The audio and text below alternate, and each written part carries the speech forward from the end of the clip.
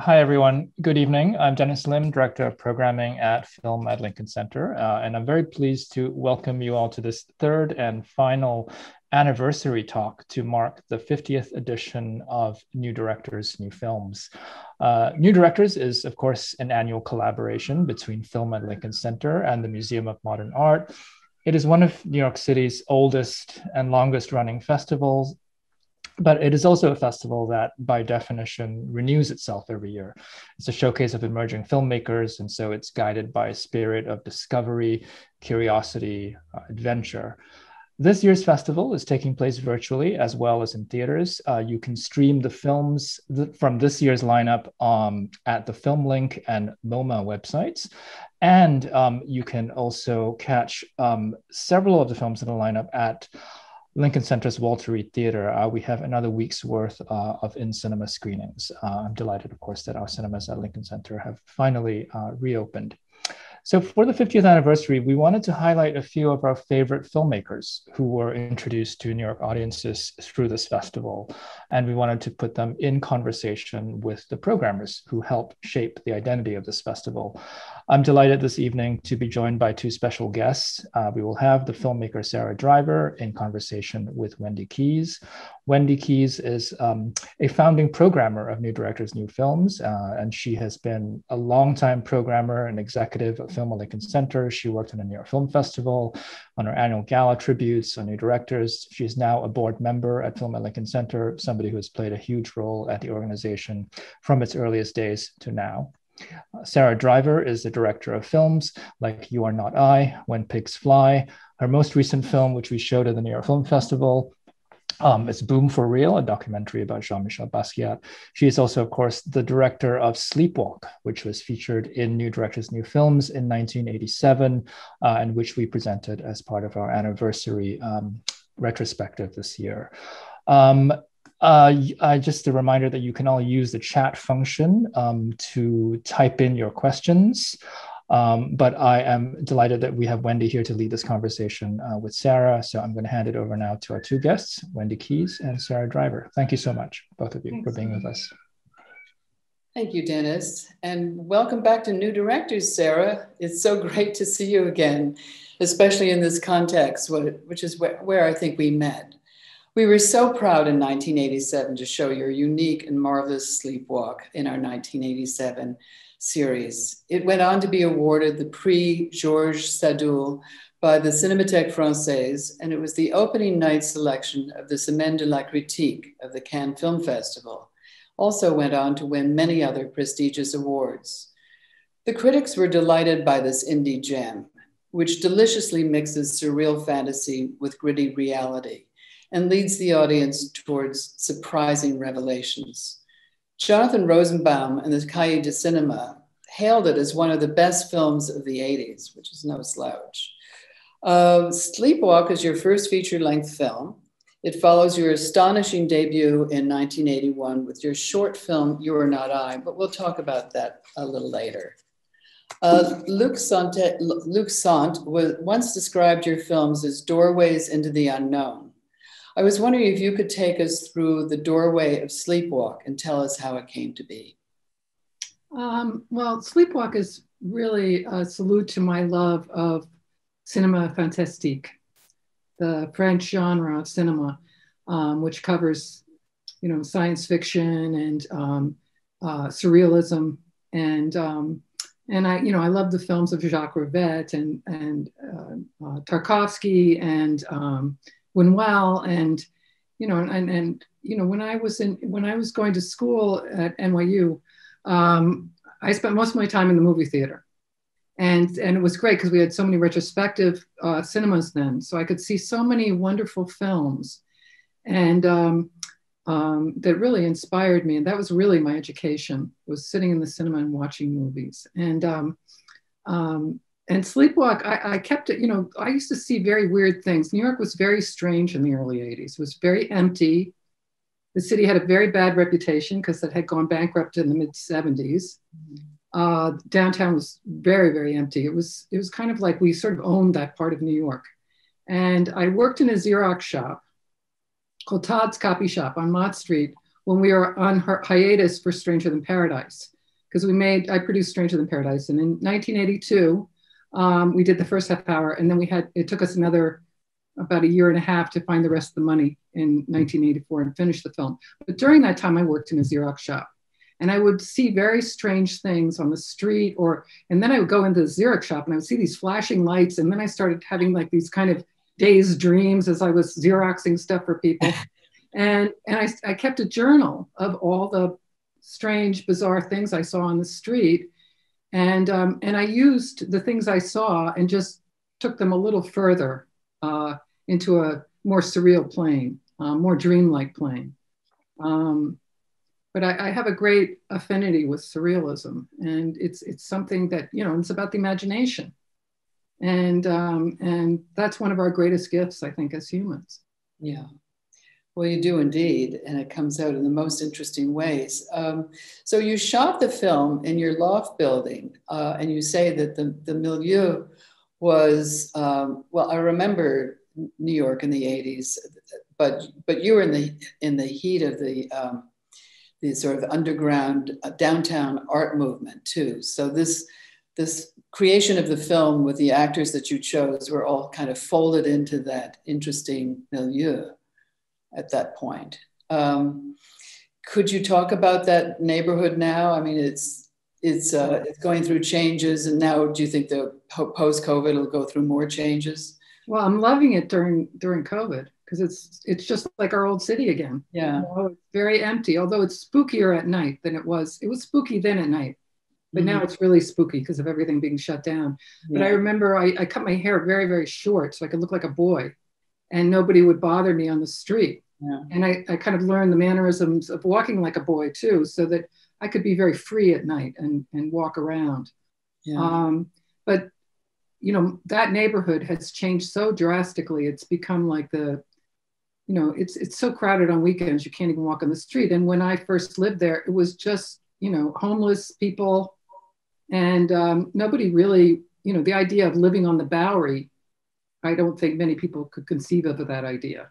Mm-hmm. And but yet living on the Bowery, I had gifts every day because I saw these great interactions between people.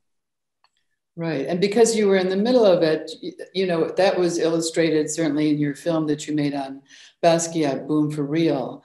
And uh, so you, you, you put that to use. You, but you were also um, not only in the midst of it, you were supporting people. You were, you know, you were both creative and a, and a supporter of the creative community. And I think that's always what's been appreciated and known about you. But to switch gears a little bit, uh, to me, the visual aesthetic of Sleepwalk um, resembles sort of the, the neo noir Edward Hopper style work of Aki Kaurismäki. Did you consciously refer to any other director to establish the look of the film? Well, I wanted, I, I remember reading, I think it was um, um, Robert Bresson's Notes on a Cinematographer. And um, he was talking about how color enhances detail and black and white eliminates detail. So I, I thought, why not shoot a color film with the idea that it's black and white? Because um, the light and shadow in that film is very strong. Mm-hmm. And, and eliminate as many details as I can, um, but playing with, with color. Um, you know, I'm so in love with light and shadow and what's really happening in the shadows. And even as a child, you know, I had a wonderful shadow in my bedroom, childhood bedroom, that I was sure I could go through and be in another world. Yeah. And I remember looking at that shadow and thinking about that world that was behind there. Um, and um, you know, the the the uh, so many films. I think it was Le Samurai was the one by um, Melville that uh, he actually uh, he he he he made a color film, but he made it feel black and white the way he he shot it. Um, so I, I you know, I, I, mean, I was influenced by so many filmmakers and, and and this love of light and shadow, and the idea also because I come from theater as well, and that you can create something if you can make it something believable, even if you just have a minimal prop. You know, you can create a whole world like on the stage. Mm-hmm. And that idea always kind of fascinated me too. So I'm not surprised to hear you say that uh, when you were a child, you were you had this fascination for the surreal, and your mind opened up into the possibilities of what might be considered by some people as non-conventional thinking. Do you think you have a particular gift that you where you see things where others don't? I think you do, actually. I don't know if I do. but, uh, but, but I mean, there there are things that you um, you know that you toy with, and, and what I love about your work is that it's never whimsical in a corny way or fey or twee. You know, it's all based on um, a real seriousness. There's an intent to it to show that there's there are things in this world that we don't fully understand and I think that's what makes you such a unique filmmaker. Um, so, just to go back to the construction of the film, the narrative is unresolved, and it makes it even more unsettling. Um, which I'm sure is your point, is that we don't know everything about the world. I mean, do you agree that this is part of what you're what you're telling us? Is that there are mysteries there that we'll never really fully understand? Well, I was very I, I really didn't, I don't like films that, I'm very inter- interested in cinema language and experimenting with cinema language. And, you know, we're such a new, young art form film. It's a very new form, and the language really hasn't been developed. And so the idea of breaking these formulas and these rigid cons- cons- uh, conventions about how you make a film, what's a what's a first act, second act, third act, doesn't really interest me. What interests me is telling stories in new ways using cinema. Um, and I, I, had this idea, I remember when I made Sleepwalk, is I didn't want to dictate to my audience what to think. I wanted them to look at the film as if it was almost a painting. Yeah. Where, like with a painting, you read in your own ideas of it and your own conclusions. And that's why I decided I had I shot an actual ending for the film, but then at the end I thought I don't really want to dictate to the audience. Yeah. Yeah. Well, that adds to your your originality certainly, and and the feeling of unease and and self exploration. So I think that all works well. I just want to take you back. I don't know if you remember, but the night that uh, I introduced Sleepwalk at the at New Directors in '87, I was standing there in the you know the microphone in front of the audience, telling stories about you and. Um, then I introduced you and said, Ladies and gentlemen, please meet Sara Driver. And I was waiting for you to come down the aisle, and I was going, Sara, Sara. and the audience was going crazy. They were laughing like crazy, and I had no idea why. And you were standing right behind me. there was a door. there was a door at MoMA right there that I had never seen before. I'd worked in that hall for decades. But to me, it was so typical of you, both being mysterious and mischievous. So I just was wondering, do you remember that? It was very funny. Now it comes back to me. Yeah, that was yeah, it was very funny. It was cute. Um, anyway, uh, talking about your films, Dennis Lim, who introduced us tonight, said, and if I'll, I'll quote him, I see that he's still with us. So excuse me, Dennis. But for um, and here, here's the quote: that for all their supernatural and surrealist flights and their frequent lapses into trance states, Sara's films remain concretely rooted in their physical realities.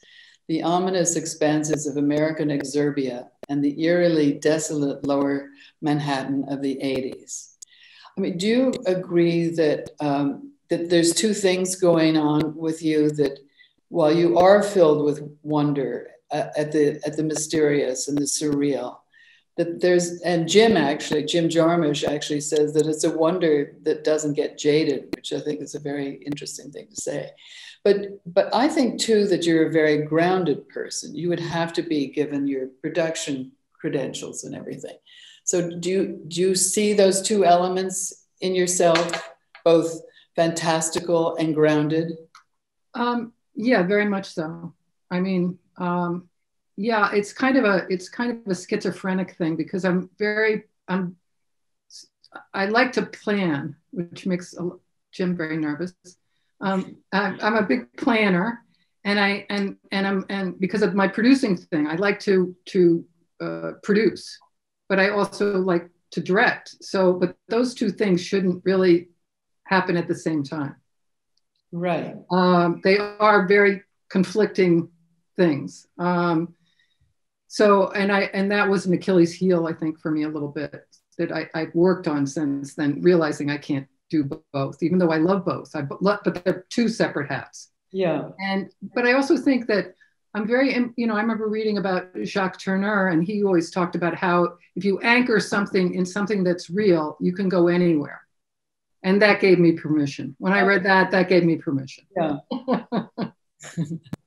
That's an interesting quote too. Do you want to talk somewhat about your um, your collaboration with Jim Jarmusch, um, both you with him and he with you in terms of filmmaking? Um, well, yeah. I mean, at, at the beginning, um, you know, I, I with permanent vacation, I remember Jim saying to me, "I need." We had no money, and he said, uh, "I have to get 15 locations for free." So then I had to work on that. You know, he's always giving me challenges and um, which I I, I I, I, I, I, had fun trying to, trying to get them. Um, and like with uh, Stranger in Paradise, we basically made that film with 11 people. There were three actors and eight crew. Uh, I remember the sound guy, Drew Kunin, our friend, he, he was he wanted a boom person because all of Stranger is master shots, and I couldn't afford a boom person. So poor Drew had to do had to wear the machine and boom. and um, you know, Jim, Jim and I, we've always had fun talking about ideas. We're very different, but we have very similar. We're very different in the way we want to tell stories, but we have very similar um, things that we love, and poems, and poetry, and and art, and uh, music. Um, in that way, we're very similar, and we like to, you know, um, play around with ideas with each other, and that's been a wonderful gift. Uh, yeah. And um, uh, you know, and we had to help each other early on. Everybody was, I mean, I was thinking about how Spike was shooting She's Gotta Have It right before um, I shot Sleepwalk, and Li-Shin Yu, who was the assistant camera on that film, became my editor on my film. And, and I bought some stuff left over from his film to use on my film. I mean, we were all, it wasn't, it was such a small community of people that were downtown, and we were all really helping each other. Um, and and none of us knew what we were doing. So you know it was it was eh, but we were okay with that and trying to figure it out together. Um, and um, it, it's been you know like jim i stopped producing jim's films because we stopped talking about ideas. We were talking about too much practical things between us. Mm. i had to be the practical one and I didn't want to be the practical one. Yeah, so. that's very conscious. That's very good. uh, could you tell us a little bit of, about Wim Wenders' collaboration with you on Stranger Than Paradise? You must have had something to do with the uh, the acquiring the film footage that Wim had donated. Is that yeah. true, or is that just urban legend? Then it was definitely. Um, he had shot State of Things. Yeah, and he had leftover 4x negative and 4X negative is a really high speed stock. So it was really good for a low budget movie because you didn't need many lights. Mm-hmm. And, um, and he had this uh, stock left over, and then his company gave us the money to make the first half hour of the film. Oh, very nice. Which we shot in um, in two days because you could rent a camera, a 35 millimeter camera in New York on a Friday, and you didn't have to return it till on Monday. and and so that's how the first half hour Stranger Than Paradise was shot. There's a question that's come in uh, from M. Moy, Moy or Mall. I'm sorry, I can't. Uh, Mall, I guess. Sara, your films also deal with the slippage of time in both humorous and metaphysical ways. Can you discuss a bit about how time differs for you in the writing and in the execution slash production? Um, um, um, I think that the uh, I mean, one kind of funny thing was that I had a, a shooting schedule. I mean, this has nothing to do with content in film, but I had a shooting schedule that I thought I had at least uh, 22 night, 20, tw- I had 20, a 22 day shooting schedule. I forgot in the summertime that you lose a lot of time uh, at night because uh, nights are very short in the summer. So I lost like a whole day that I hadn't accounted for just because I was shooting in the summer. But that's a different time element. Um, I don't know. Time. Time is just such a, a abstract thing. Um, and I like the feeling that, well, it's sort of like what we're in right now, of that we don't know where we are time wise. It's kind of like my films. Yeah. You know, I hadn't really thought about it before, but it's it time is not really a consideration in my films, and um, it's not conscious. It, I'm not doing it consciously, but it, it's part of the it's part of just the nature of how I tell stories, I guess. Yeah. I'm trying to answer that. It was probably not a satisfying answer, but um. no, but you came up with a revelation that you hadn't that hadn't occurred to you before. That COVID time is in its new way kind of unique, and yet in that things meld and merge in ways that they didn't when we had more structured schedules and had things to do. So you know, I was and thinking, now we've all slipped into a Sara Driver film. yeah. Thanks. I, you know, I was doing a little research. I was curious because uh, this new script that I have ready that I'm, i want to shoot um, is also in a world of, you've read it, Wendy. Yes. It's also in a world of, of kind of quantum physics and time. And because I'm also obsessed with science and, um, and, um, uh, and I was thinking about how the films that are, were considered surrealism or film fantastique, like starting with George, um, George uh, Méliès and uh, on, that started in World War One. And then, there was a big, then it sort of uh, found fantastic sort of disappeared. And then it seemed to appear again during World War 2 Mm-hmm. And then it appeared again during the 60s and the 70s, which were a turbulent time. And it's a kind of pure form of escapism. Mm-hmm. Right. Gosh. Um, tell us a little bit about your actresses. Suzanne Fletcher is just astonishing. She's a marvel, and she was so good in, in this and You Are Not I, and uh, and Stranger Than she was in, was she in Stranger? Oh, she was in Permanent Vacation. But how did you find her? Suzanne had been um, had gone to Barnard, and Jim knew him her her when he was at Columbia, and then we were all living in the same neighborhood downtown, and had become friends and um, and I had we had such a good experience on You Are Not I, and I basically I I always had her in the back of my mind when I was writing the script, although I did think about other actors, but then she just was so perfect, and and she was in my mind's eye, you know, when I was doing keeping my journals, when I was kind of writing down the things that I witnessed in New York. Yeah. Um, and we were very good friends, and and she's a wonderful collaborator. She's she's a, got an amazing mind, and um, and physical appearance. And um, and you know, she was she, she always helped me in in in so many ways, you know, and, and led me through things, which I think great actors do that with directors. And Ann Magnuson too was a was a oh, gift to work with. Was really great. No, she was a performance artist. Yeah, and I didn't know her personally when I cast her, um, but I always I, I knew of her from the scene, yeah. And she always had this kind of Shirley MacLaine. I know. Downtown Shirley MacLaine. Yeah, yeah. and and it was really great to work with Ann too.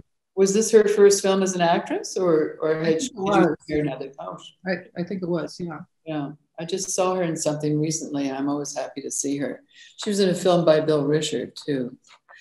Um, uh, let's see. Uh, well, let's talk about You Are Not I, which is such a wonderful piece. It is based on a short film by Paul Bowles. And it's seriously, it remains on my top 10 list of favorite films forever. Oh, Wendy, thank and you. I urge everybody to see it. Um, and I just want to say that the confidence and rigor and sleight of hand that you pull that you pull off here is astonishing as a first-time director, and even for a veteran director, it would have been astonishing. So, could you tell us? There's a wonderful lost and found story of this film. Could you tell us a little bit about that adventure? Yeah. Um, well, the film, um, you know, was shot in 16 millimeter black and white, which is a very delicate film stock. And I had sent a, a copy, you know, at that time in 1981. I made first. I made the film. I fell in love with this story. It was a seven-page story, and I had been reading a lot of Paul Bowles. I, I really, he's one of my favorite writers. And I read this story and I was so shocked by the ending that I thought, I have to make this into a movie and I have to make it exactly how I read the story. Yeah. And and and this feeling that I had of shock at the end. And um, um, and then I, I was it was for uh, it was for my graduate project school, you know, graduate master's degree, you know, project, and and so I thought, oh, okay, I'll shoot it, and then I and then I and I, I wasn't sure what would happen, and then I started working on it, and and then um, and then you know, and then I contact I was able to contact Paul Bowles, and he gave me the rights to it, and then I sent him a print of the film. Because there was no VHS then. There was you had to send an actual print. So I sent him a print with a, a guy. He it was hand carried to Tangier. Paul Bowles was living in Tangier, mm-hmm. um, and it was hand carried by a guy whose whose parents had been friends with Paul and Jane. And he brought it to Paul, and he and he projected it for Paul. And then Paul and I started this correspondence. And many years later, uh, there was a story. I had the, the, the film in storage and it, and it was destroyed. Um, I can't remember if it was a fire. It was a fire in the storage unit, and I think it was a fire. And then because um, I, I, get confused whether it was water or fire, but it was one of the two that's very damaging. And um, and so I, we thought the film was totally lost. This was around 2010 or something, and I was so embarrassed and and it was like you know it was heartbreaking. It was I thought it was completely gone. And then I got this call out of the blue from these academics, uh, these archivists who were archiving Paul Bowles's all of what Paul Bowles had, and they said, "We found your film among Paul Bowles's things," and I was, and I had forgotten. I had sent him a print, yeah, thank you. and God. it was off the original negative, so it was a very beautiful, pristine print. Mm-hmm. And um, and the archivist was like, "We're really amazed because this is a black and white film and it's in perfect condition. I mean, with the weather in Tangier, how did that happen? It it, it's because we found it in a cardboard box. And I said to the archivist, I said, because I couldn't afford a metal can at that time for the film. And if it had been in a metal can, it probably would have been destroyed by the humidity. But because it was in a cardboard box, there was air going in and out. So um, when the um, uh, Masterworks at New York Film Festival wanted to show the film, um, uh, we were given a grant by uh, Women Make Movies, and we were able to make a copy off of that film um, that they found in Tangier, and um, and make a, an HD uh, copy of it as well. And um, that's how the film was saved. It was saved by Francis Poole, the archivist, who who uh, who who was who was uh, you know working on Paul's archive. And it was very interesting because he sent me a picture of it and it was under Paul and Jane's typewriters. Oh my God. and then, of course, you have a fondness for Jane Bowles too. Yes, I and do.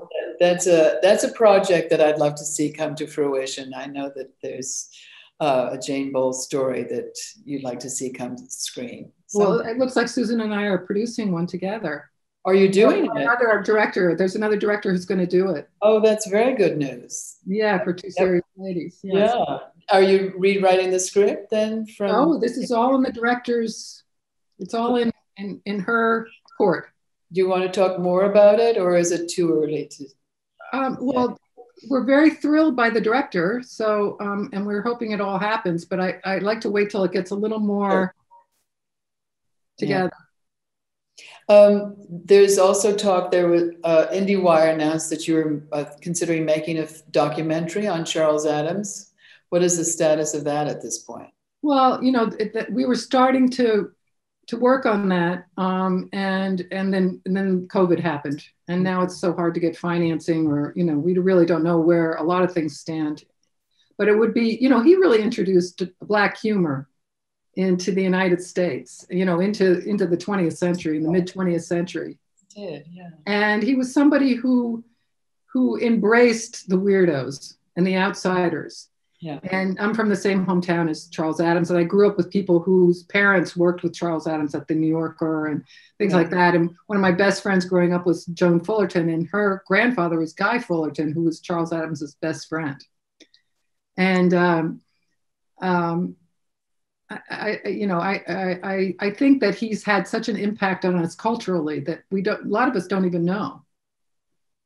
Yeah, we know him, but you know, we don't think of really his overall effect on us. And that that kind of black humor is something that you've, in a sort of a deadpan way, you have sort of seeping through everything that you do. So I guess. He was probably one of my earliest influences because I grew up before the Addams Family TV show. Yeah. I was I had those books, those cartoon books were in my family home. So I was always looking at his cartoons and you always had to find the gag. You mm-hmm. know, sort of like also working with light and shadow where you're not sure what's really lurking back there. And it's the same with Charles Addams when you look and it was so fun as a child to discover what the gag was that he wanted to get. You know, you had to work a little bit. Well, that's okay. I think most good art, you do need to work a little bit. You have to be engaged.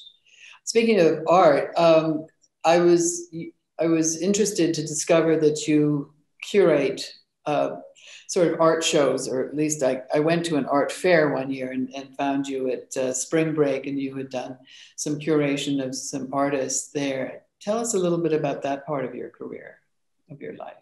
Well, you know, I, I keep thinking I'm sort of working on my gravestone. I would like to just have the word instigator. Okay. If I can earn the word instigator, I will have lived a full life.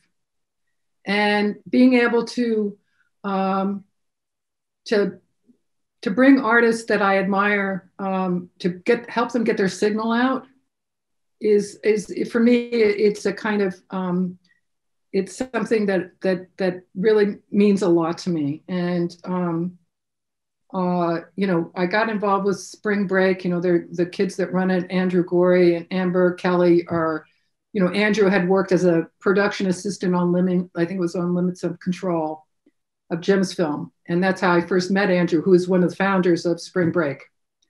And I went to their first, and and Spring Break was a little bit like the Times Square show because they their whole philosophy was to find abandoned spaces. Yeah.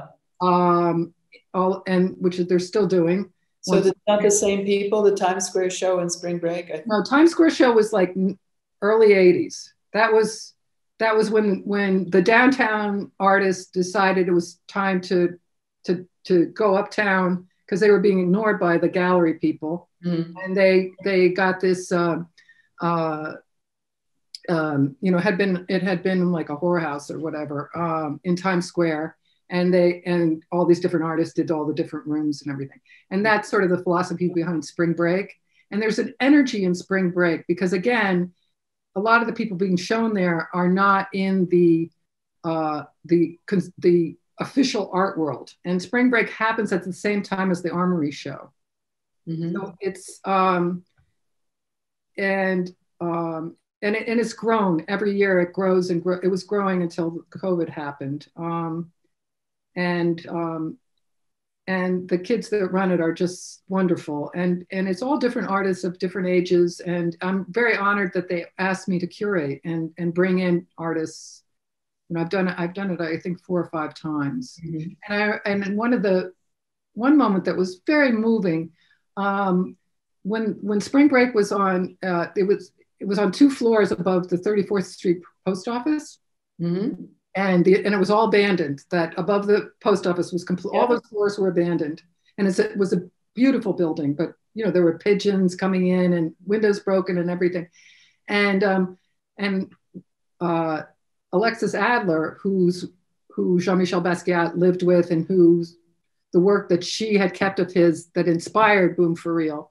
Mm-hmm. Um, we decided we would show uh, her photographs of Jean-Michel at the age of 18, 19 um, and her, his works of art. And it and in another room have a, the works of art, but we wouldn't announce it. We just let people find it. And it was so great for pe- people to walk in and see these young pictures, beautiful pictures, photos she took of Jean Michel, and then to go in the next room and actually see the artwork and be so close to it. And yeah. see how he had he had he had done drawings on her you know stationery from Rockefeller University because she was going there when she lived with Jean Michel um, but when we unrolled the, her photographs of Jean in that kind of funky space, it felt so like right for him, you know? And it was just, I almost started crying. It was. Yeah. I, I so love to see him in that environment, you know? That sounds terrific. I mean, Creative Time used to do that, find abandoned spaces and put on art things. I, I, wonder if there are many abandoned, well, there'll probably be far more abandoned spaces in New York now. Um, probably, yeah. I mean, you can go to the Empire State Building and take over three floors for a, um, an art show now. Oh, that's a good idea. Yeah, let's. let's do it. uh, there's a there's a question, um, kind of a, a, a, comment from Anne Katrine Titsy, friends of yours, I think. Greetings from Anne Katrine and Ed. Oh, hi. in, in, You Are Not I, Ethel Rosenberg's Dreyer's Joan of Arc, shifting towards Virginia Woolf at times. Please comment.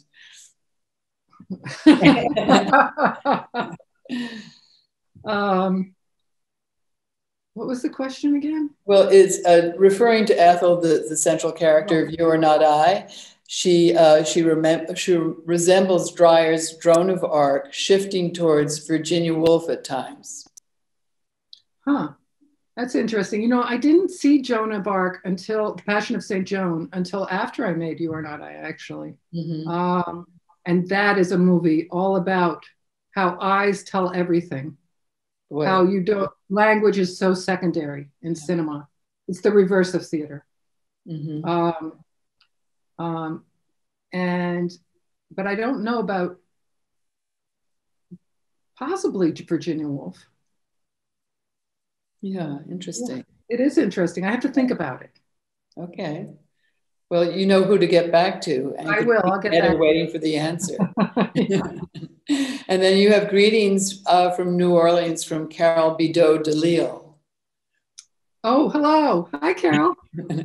Carol's involved with my next film. Oh, good. Now, which which of your three next films is that? Uh, the Odd Enchantment of, of Madame P with uh, okay. that I wrote for my very good friend Nicoletta Braschi. Yes, yes, and uh, she, uh, she is so the people know she is the wife of of Roberto Benigni, but so many, so much more. She's well, she's, she's an incredible actress. Yeah, she is. And and actually, she's been touring with Happy Days for a few years now, with Beckett's Happy Days.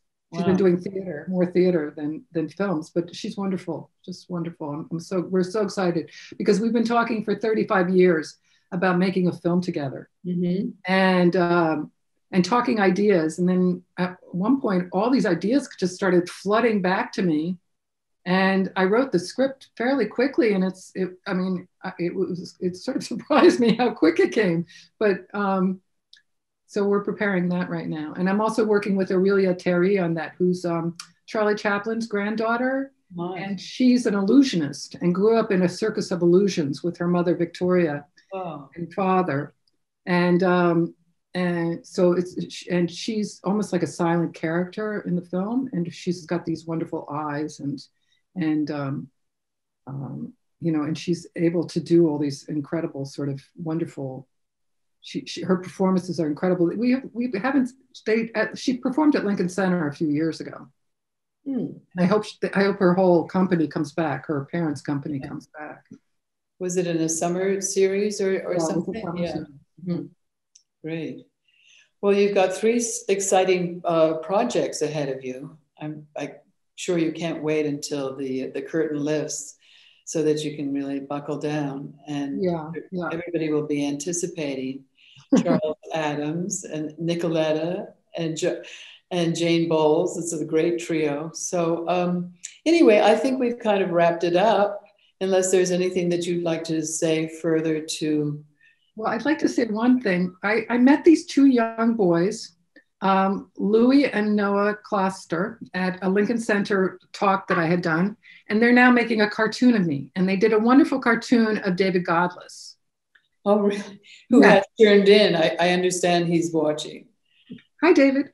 And um, and uh, um, and we started talking. They're doing one about it was something uh, an incident that happened when I, we were doing financing on the rest of Stranger Than Paradise, mm-hmm. and um, and we wanted and he and so they want to do a series of cartoons of filmmakers and their stories about filmmaking, like outrageous ones. And I told them about you know about the Barbet Schroeder film, Raj, uh, his his his story where he went in for Barfly. I uh-huh. wanted a, a Barbet because yeah. uh, he couldn't get the rights back to he somebody had put up development money. Barbet wanted to buy the rights back for the same amount they had put in. They weren't going to give him his rights. So Barbet came in with a Black and Decker saw and he was going to cut off his fingers. Oh my God. And he started. Oh my God. And they gave him his rights back. but we, you, so uh, Louis and Noah are going to pursue these different stories that different yeah. filmmakers have gone through as animation. Mm-hmm. Wow, great. Um, there's a question that's come in from Jonathan Rosenbaum, who I know is a great fan of yours. I'm a great fan of Jonathan's. Hi, Jonathan. Uh, his question is Hi, Sara. What's your favorite film seen so far during the pandemic? I think Death of a Scoundrel with George Sanders. Great. Uh, it's a very odd film. Um, what else? I've seen so many. They're all kind of merging together at this point. Mm-hmm. Um, um, much, I don't know. I'm sort of blanking. Thanks, Jonathan. um, no, Death of a Scoundrel is something to think of about. Um, and sometimes, you know, in fact, I think I the film. I think we we want to watch the serious films, the ones that will take us down an interesting road, and sometimes we just need junk. And um, I don't know if I'm the only one, uh, but I really find some relief in just watching really bad things that I won't share with anybody because it's too embarrassing. But uh, there's a, a, message from Leon Falk. Greetings from Leon Falk. So great to hear both of you in conversation. Can't wait to see the new film when it's done. So I guess. Uh, well, he read the script too. Mm-hmm. yeah. Well, it's tantalizing. Ah, thank you. Anyway, so great to see you, Sara. We'll all get together. Oops, maybe there's another one here. This is, no, I think that's it. So we'll get together when we're allowed, when we feel comfortable, and when uh, there's plenty to do. Lincoln Center's Film Society, Film at Lincoln Center is open, so um, we can meet at the movies. Well, now we're back vaccinated too. That helps. Yes, yes indeed. So thank you very much for being with us. Thank you Great so much. Thank you for inviting me.